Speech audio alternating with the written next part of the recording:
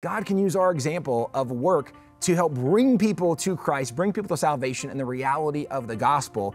We could go through hundreds of fun stories of people who, through their work, made a difference and accomplished things, but it ultimately comes back to recognizing that God is the one who's given us these bodies. God, God has made us to be productive, made us to make a difference. And as you mentioned, unfortunately, there's a lot of people who have chosen just to let somebody else take care of them instead of using their God given gifts, talents, and abilities. On June 28, 1894, President Grover Cleveland signed Labor Day into law. Now, Labor Day is filled with back to school sales, picnics, swimming, and the only labor today might be mowing the lawn or manning the barbecue. That is not to say there aren't real labor problems. Nearly 11 million people who could be working have stopped in this country. In addition, the unemployment rate is still very high, but the sweatshops day, sweatshop days, I should say, are a thing of the past. And there are places where workers can now go to address real problems. We have a special guest for this special day, the president of WallBuilders, Timothy Barton, a pro family organization that helps keep our focus on America's great history, our heroes, and our constitutional, moral, and religious history. Welcome to Centerpoint, Timothy. Thanks so much for having me. Good to be with you today. Great to have you here, and I can't wait to dive into some of the artifacts that you've, you've brought along with you. But let's start with the origins of Labor Day. Mm-hmm. Generally, the 19th century is thought of. We saw that President Cleveland uh, signed Labor Day into law in the late uh, 1800s. Uh, and, and there was real hardship in the factories. The Industrial Revolution had commenced. People were being over, overworked in many cases. We've all read, or many of us have read, uh, Upton Sinclair's novel of the meatpacking industry in mm-hmm. Chicago. I have a great uh, relative of mine, my great grandfather, helped to end child labor in this country by, by uh, moving from North Carolina, where he had witnessed the horrible conditions in the cotton mills, came to Washington and helped lobby for the legislation which ended child labor in this country.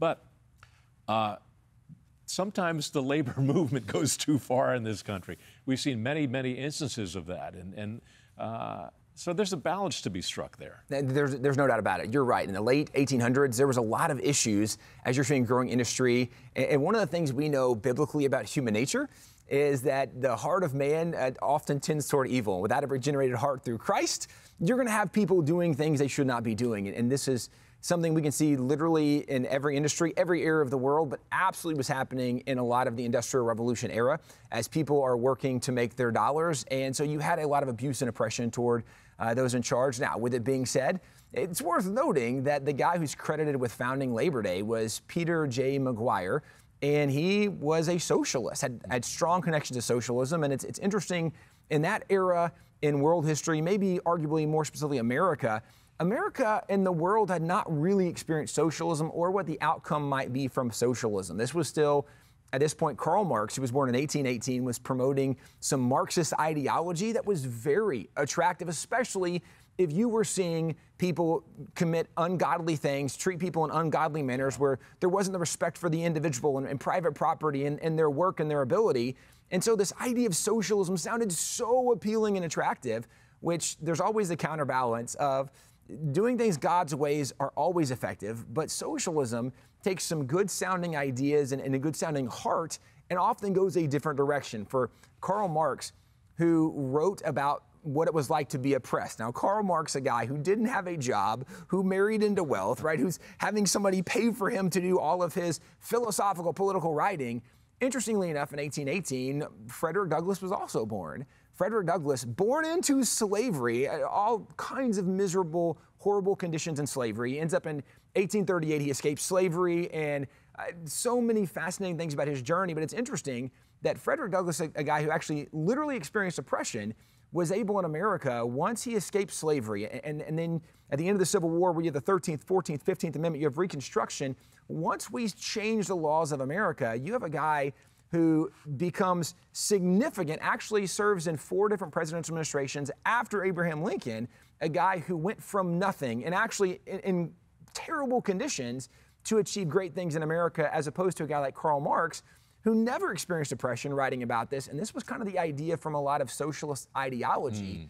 was they they weren't always people that experienced oppression, but it was leaders who knew how to take people who had experienced abuse and use them for their own ends. You know, a little, little known thing about uh, uh, Karl Marx uh, and, and the author of, of, the new book, The War on the West, Murray is his last name, I can't think of his first name, has written about it. He was a terrible racist. He Karl was. Marx was. Anyway, people don't know that about no, him. and, and it's one thing too that even as we look at, at kind of the evolution story today, so so Karl Marx, Charles Darwin, very much running in the same veins in some areas.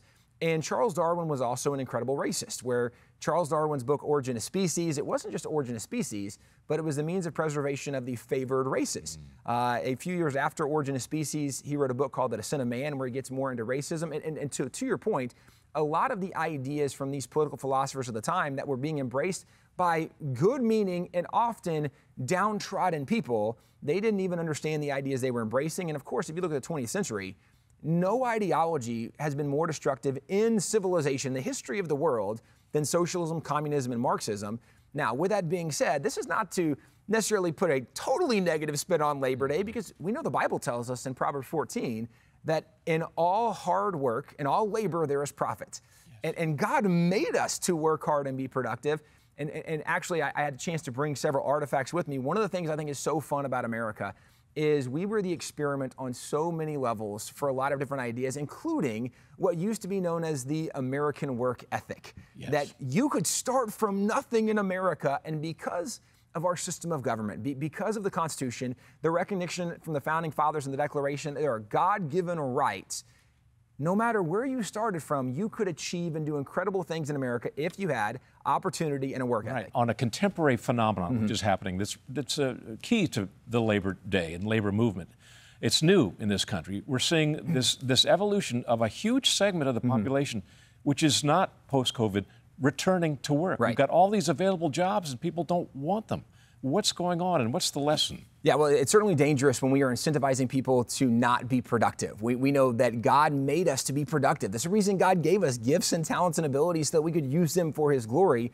And certainly as we read the Bible, whether it's, it's Colossians 3.17 or 3.23, it talks about whatever we do, uh, we, we do it for the Lord, not for man. We do it with all our heart, knowing that it's from Christ we receive our reward. But, but what's so fun for me about studying history is I can point back to examples uh, this is the, the biography, it's a life of Richard Allen. Richard Allen was a black pastor, but he was a slave in the 1700s.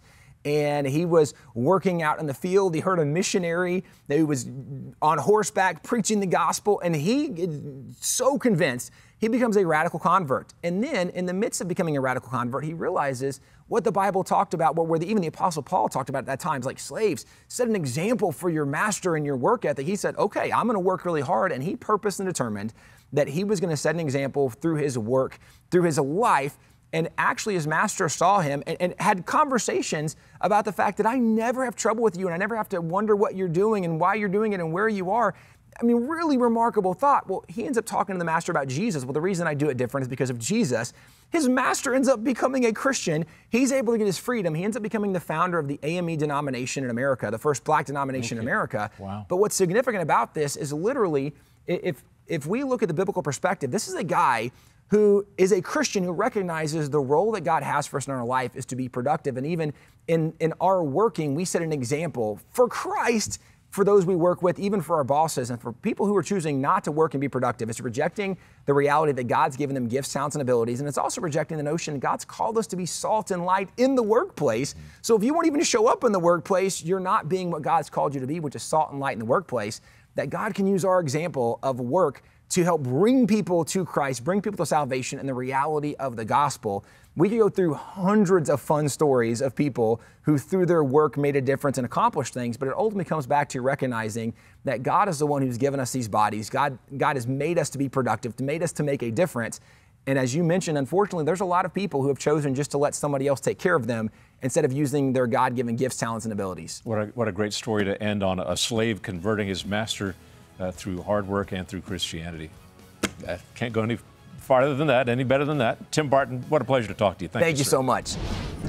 Hi, I'm Doug McKelway, and thank you for watching Centerpoint. We hope you enjoyed this video. Make sure you hit the subscribe button and tap the bell icon so you're notified every time a new video is posted. Leave a comment below and keep the conversation going by sharing this video with a friend who needs to see it. Thanks for watching. We'll see you back here tomorrow.